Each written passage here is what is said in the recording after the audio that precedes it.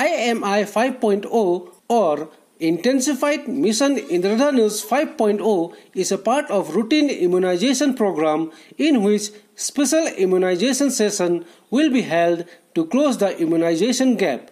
Globally and in India, the achievement made in the past have been hindered by the COVID-19 pandemic. This coupled with other existing inequities in immunization as a result of socio-economic status, education level, urban rural setting, etc., has further contributed to the immunization gap created.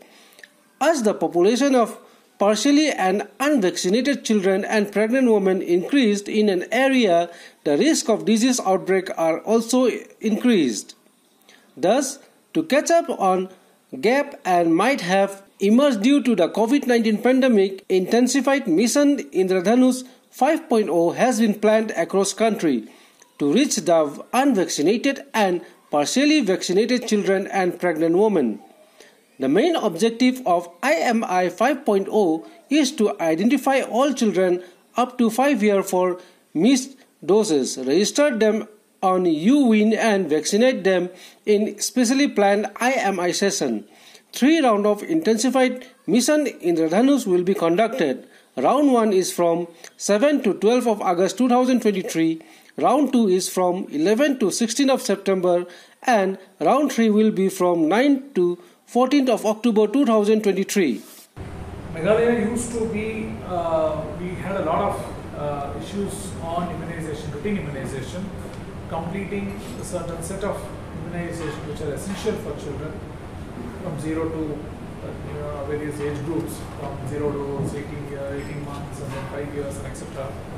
We had uh, universal immunization coverage of 55-56% in the year of 28, 2019, even 2019. Uh, then onwards, the state had taken certain measures to correct this immunization, and we had had a focused uh, approach on this. At the same time, a more inclusive approach of involving um, the ICDS system, the Anganwadi workers, community, uh, collaborating with the rural development and everyone. Now, uh, there are many people why they drop out of vaccination is because they have moved houses, they have gone to a different place, they have not taken their shots, etc. So this is the first time where this IMI campaign, which is a catch-up campaign, kind of you know, finishing everyone who have not left out of vaccination, giving three different uh, phases. The first phase is starting on 7th to 12th of August. Then the second phase is coming by uh, mid of September, and then the third phase is the middle of October to complete that. So if children are left we would like this is a very, very important chance. And this time, the vaccination is also going to be done, it's going to be recorded online.